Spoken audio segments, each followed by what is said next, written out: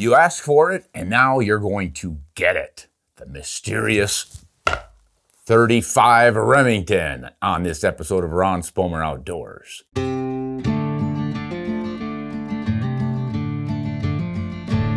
35 Remington, what is it? Why is it? Why is it so revered? Why is it so hard to find now? Why is it almost obsolete?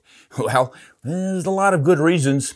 Primarily, it's a fairly small cartridge. Born in 1906 for the 19 Model 08, Remington called it the Remington Model 8, Browning designed auto-loading rifle that took magazines holding as many as 15 rounds.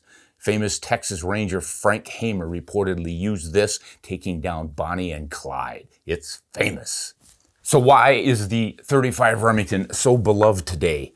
Because it's proven to be an excellent woods cartridge, especially for whitetail. That's where it made its reputation. Not only was it chambered in the Model 8 autoloading rifle, then it was also chambered in a pump action rifle from Remington, a lever action Marlin 336, which everybody loves, and several other rounds, including the Model 600 bolt action rifle from Remington. I think for a time they put it in the Model 700 from Remington.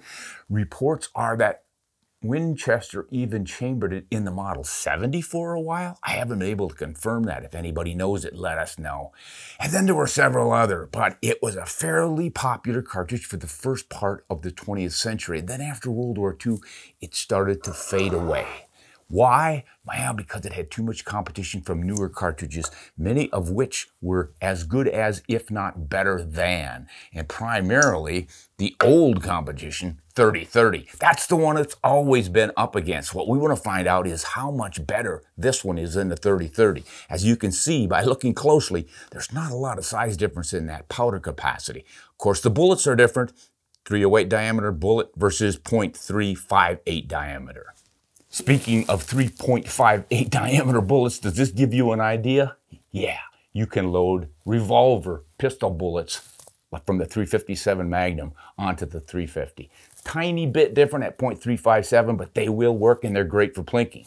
But you can also get the big bullets. This guy made its reputation with a 200 grain bullet. That was the favorite, but you can find them down to as light as 150 grains and as heavy as 220 grains.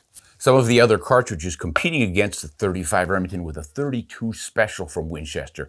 If you look closely, that doesn't look a heck of a lot different from that 30-30, does it? No, I think it's just the 30-30 necked up to 32 caliber. But there was another one came later, the 356 Winchester. And as you can see, boy, those are awfully close. But the 356 Winchester is a lot more powerful. And the real powerhouse came out quite a bit later, that's the 358 Winchester. You don't hear much about the 358 Winchester anymore. It's simply the 308 necked up to take a 35 caliber bullet. We'll do some ballistics and see just how all of these compare and compete. And one of the big ones we're going to compare it to today is the 350 Legend. Now you can see that one looks quite a bit smaller in the powder capacity, but you'll be surprised at how well it performs. Let's go to the tale of the tape. We're going to compare the traditional round nose bullet that was the common bullet in 200 grains on the 35. It also came with a few fairly sharply tipped bullets, but you have to be careful with those, not use them in the tubular magazines. We're going to compare them against some sharply tipped bullets from the 350 Legend. That's going to give it an advantage, but we're going to go with the traditional round nose bullets in a 3030 and we've got a sharply tipped bullet in a 358 because that's a big part of the reason that's so powerful and so effective downrange. It has a higher ballistics coefficient. So let's go to the tale of the tape. 35 Remington, 200 grain round nose bullet. The ballistics coefficient on that's about 0.195. The muzzle velocity is 2,100 feet per second.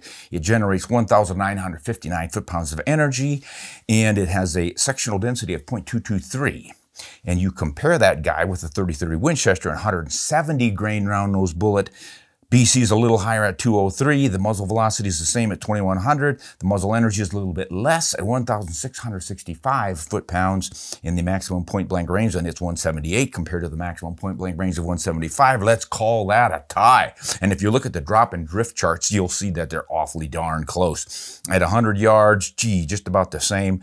Little bit less drop and wind deflection out of the 30-30 Uh, at 150 yards, the advantage starts to go to the 30-30 on the ballistic trajectory, but the energy still stays in favor of the 35 Remington. It was just a big part of the reason the old school hunters who loved it still love it.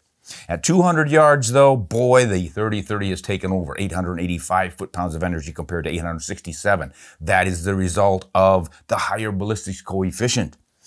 Even though they, our 35 Remington bullet is 30 grains heavier, it's losing out at longer ranges. But it doesn't matter all that much because both of these are medium range cartridges at most 150 yards. Yeah, you can do it at 200, but boy, they're running out of gas with only 850 so foot pounds of energy left in them. So they're 150, 175 yard cartridges. As I said, whitetails in the woods, black bears, quite effective on elk as well.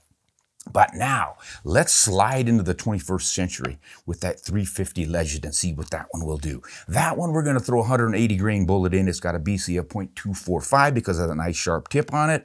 Uh, once again, our muzzle velocity is the same at 2,100. The energy is a little bit in between the first two at 1,763 foot-pounds of energy. The uh, sectional density is 201, a little bit less than both of the older cartridges, and the maximum point blank range is about 10 yards farther. And you look at your numbers, and they're not a heck of a lot difference except for the energy number. At 200 yards, that 350 Legend even carries more energy than the 3030. So that, I think, will surprise a lot of people.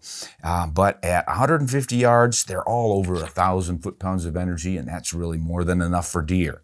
Now, let's go to the big threat.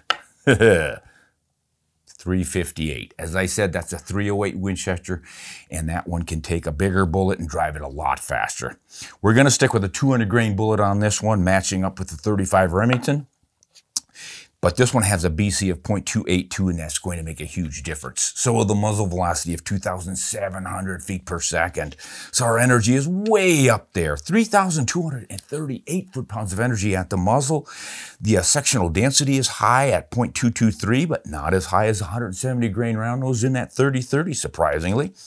And the maximum point blank range on this one goes all the way out to 236 yards. And when I say maximum point blank range, I'm thinking of a five inch target because a lot of guys shooting at these close range woods things want a bullet that doesn't rise too much in case they have to shoot through a hole in the branches. So this thing will go no higher than two and a half inches above your sighting plane. And that happens at 100 yards on almost all of them, right in there. So look at the energy downrange out of that 358 Winchester. At 150 yards is 2,233 foot-pounds, and at 200 yards you still have almost 2,000 foot-pounds of energy. And the drops and the drifts, you're beating everybody. Why so much difference in a cartridge that doesn't look like it holds much less or more powder than does the 35 Remington? Maximum average chamber pressure. The SAAMI spec on this old 35 is only 33,500 PSI. and this guy's probably up closer to 60, 62,000 PSI. There's your big difference. But getting back to the real world, the reason that this is so beloved is a similar to one to the 3030 being beloved. You can get it in those lever action woods rifles, and people absolutely love those. And there's always been an argument about which one of these two knocks down deer better. And the 35 lovers will insist it's because of that larger diameter bullet. How much that makes a difference, I don't really know. I've never subscribed to it as a huge factor but you've got to figure in the sectional densities as well. The higher the SD number, the deeper it should penetrate. And let's go back to those. The uh, sectional density was 223 on the 35 and 256 on the 3030. So uh, you're going to penetrate a little better with this one, all else being the same, meaning bullet construction and type. So I don't know. The guys still say, even though the energies are awfully close on these two, that they like the 35 better. My take on it is if you want a modern rifle in a 35 to do that job, I think you'll do just fine with the 350 Legend. And if you hang in there, we're going to see what that new 360 Buckhammer from Remington can do in this little party. So that's the story on the 35 Remington. Yeah, it's an oldie, but it's still a goodie, and I think it's coming back. Right now, Henry is chambering it in their side gate lever action rifle, and I've heard that Marlin might be coming out with it in their new upgraded 336 Marlin lever action rifle. So something to look forward to. Hey, and if you're a handgun shooter that's been chambered in barrels to fit the TC contender. And years and years ago, Remington came out with it in their handgun, the XP100. So there are a lot of options for shooting the 35, just not a lot of new ones, except for that Henry. So stay tuned and we'll see if that 35 Remington can get a new lease on life. This is Ron Spomer. Thanks for watching Hunt Honest and Shoot Straight.